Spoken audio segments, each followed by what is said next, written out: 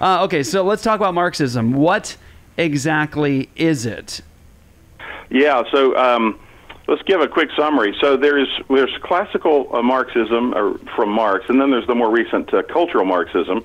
Both are very dangerous. Classical Marxism is economic Marxism of the old Soviet Union, of uh, Mao's China, and so on, Pol Pot. And it's essentially the notion, notion that everything, everything can be reduced to economics. I mean, religion is just basically uh, the the upper classes employing a view of God so that they can subjugate the the lower economic classes, and that's true of ideas and everything else. Well, because of that, uh, Marx believed in socialism. Well, if, if everything's economic, then the way to make everybody happy is to make everything economically equal. Well, of course, we know that's false. Everywhere it's been tried, everywhere it's been tried, it's been a spectacular failure. There aren't any exceptions to that. That's right. But it, it's just like it's a constant temptation because people, a lot of people, I mean, sinful man, let's face it, we want things for free. And we want to have the good life Yep. without working hard for it. And we believe that we should have as much as everybody else. And we don't like the idea of God's providence, which means that there are particular stations in life. Some people are wealthy and some are not. And you know what? The biblical view is we have to accept that. Now, we can work hard to make more money. There's nothing wrong with that. But, I mean, equality, this kind of Marxist equality is not a biblical notion. Now, we're all equally made in God's image.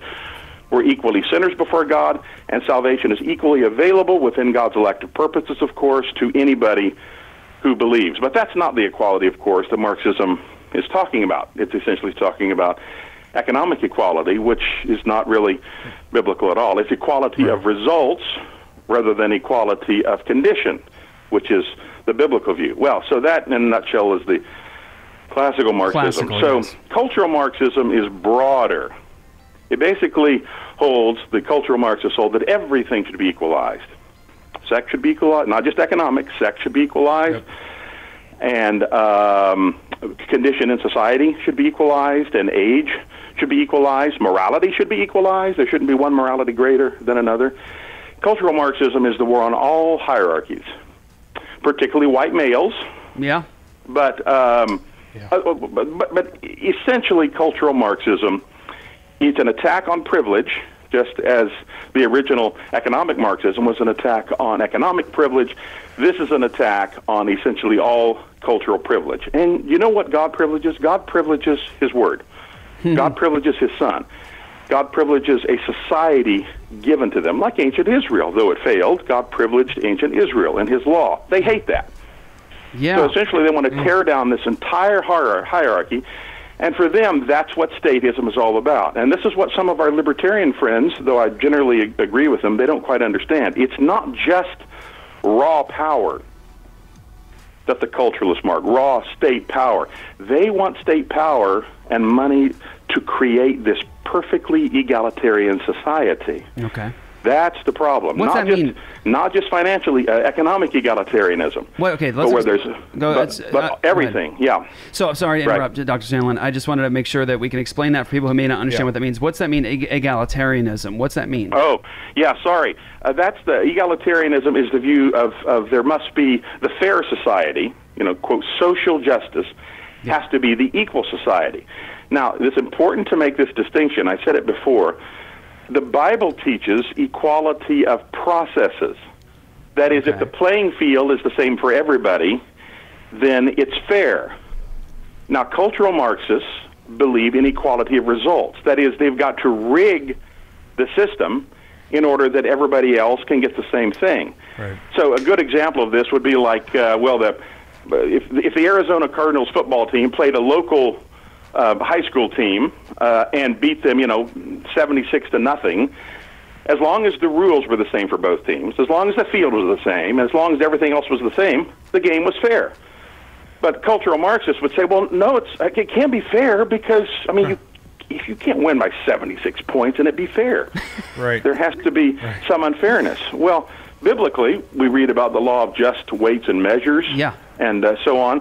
Biblically, it is fair if everybody operates by the rule of law, based on God's moral law. But cultural Marxists want to rig the law and get rid of God's law in order to create pre-established results. That's a good way to understand it.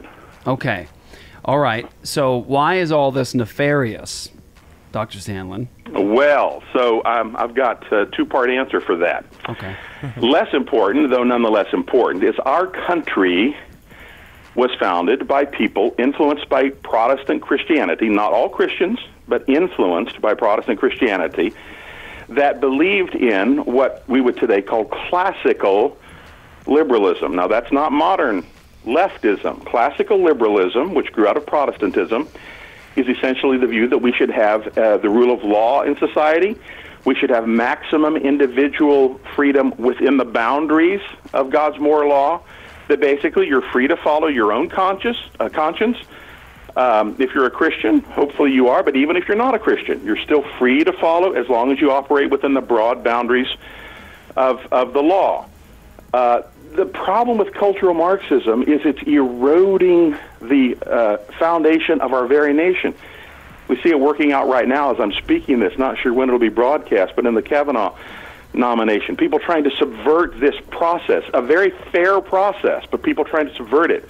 So, cultural Marxism is eroding the United States of America and our institutions in classical liberalism, taking away liberty again and again. But I would say this more importantly, it's subversive of the kingdom of God. Okay. And of course, that's much more important than the United States is.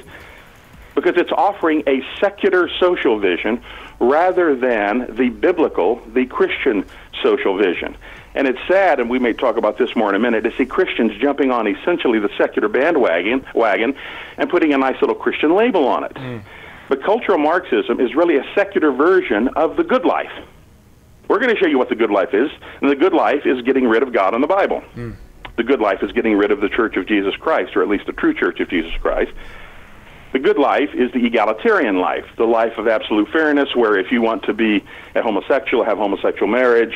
Uh, if you want to, um, you can live essentially any way you want as long as you leave everybody else alone.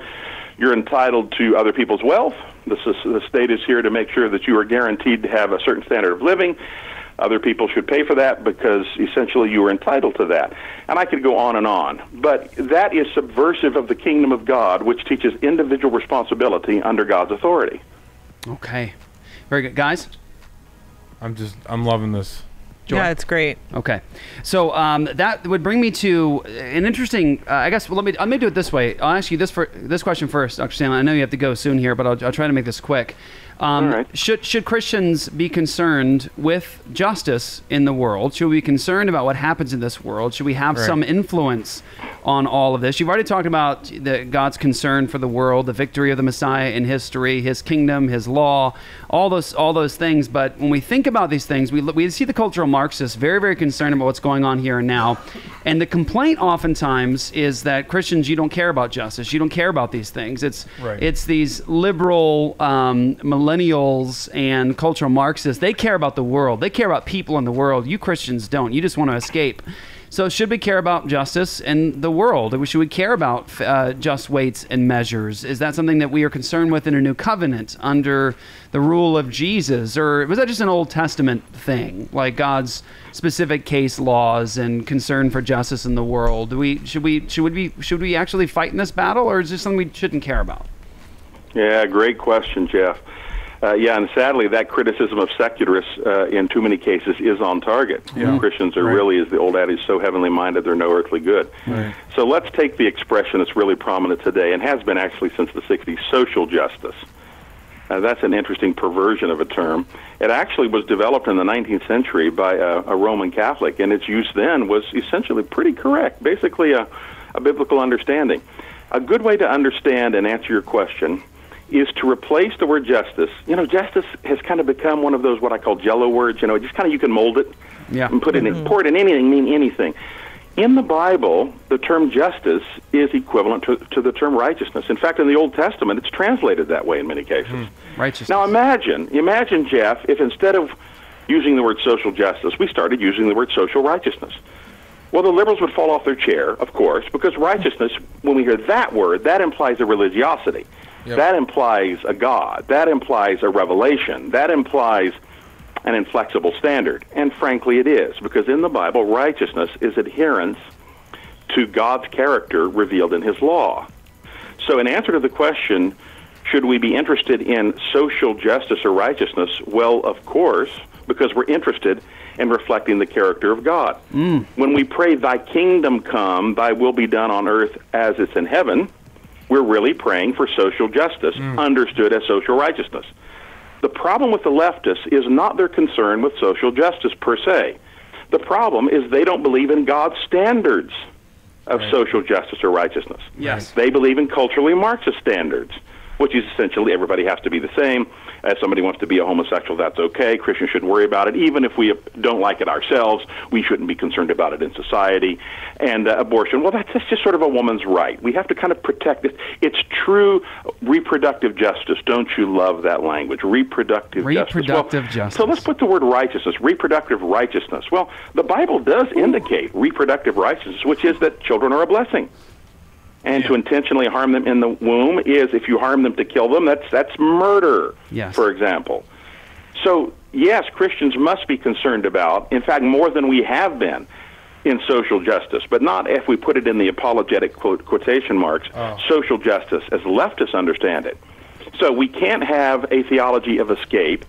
We can't have a theology of liberal social justice, but a theology of biblical social justice or social righteousness. Social righteousness.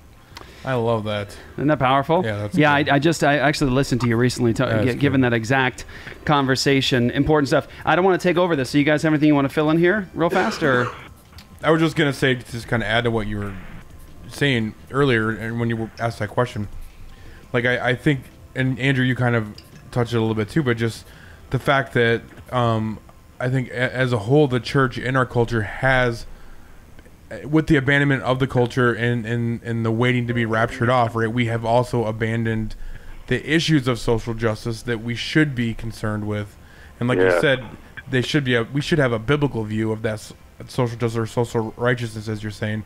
Um, but yeah, I think the reason we're in the spot we're in is because the church as a whole has completely abandoned these issues altogether. So let, you're right, Luke. So let me add something that's here's a little pernicious thing. So here you have groups that uh, essentially don't believe in biblical social justice. They're essentially, let's use the language, a retreatist, a Yeah. pietist, uh, the view we're talking about, sort of the evangelical aloofness, right? yeah, that's a good And word. so they've yeah, th- so they've often said, no, we're not interested in social justice. That's getting away from biblical emphases. That's wrong, but that's what they say. Uh, we need to get back to just preaching the gospel, though they don't really understand the fullness of the gospel. But that's their view. Yet we're seeing something very ironic happen today. And even groups with which we would tend to agree on a number of issues, at least before, like the Gospel Coalition. So all of these people who held this pri- privatistic view, this truncated view of the gospel, now it's just amazing. We turn around and we see that they've become infiltrated by people who say, no, that's not right. We do believe in the social, in, in, in the gospel and in social justice, but of course, it's a leftist version of it. Mm-hmm. So we learn an important lesson here. Quote, social justice will somewhere and always get its revenge. If we don't stand up for biblical social justice, this sort of privatized view of the faith will not long survive. that's right. And eventually we've been infiltrated by people who at least recognize that the faith, even if it's a perverted version of the faith, must apply in society. And that's what we're seeing today, I think, in groups like the Gospel Coalition